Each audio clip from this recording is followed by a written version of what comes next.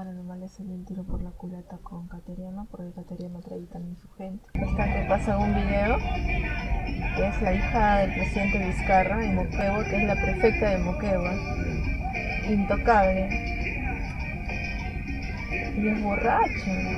Sí, están pasando un video. Está en pleno Perú. Ella, sí, y sin máscara, todo ayer.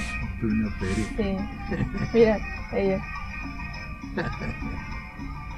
¿Se ve? Al viejito ese de vivienda lo habían pasado el que nombra prefectos, ¿no? Claro, lo han pasado a El amigo de. Zabaleta. Sí. Ya, él es el que les hace la contratación a los, a los esposos de Miriam y de, y de María, la subsecretaria. Él. Y de ahí los... María? María Aguirre, la subsecretaria, la amiga de Miriam, pues. bien, A los dos esposos los contrata él en vivienda. Y de ahí los sacan de ahí, porque él trabajaba ahí en Ah, vivienda, sí, lo sí. sacan y lo ponen de jefe de los prefectos.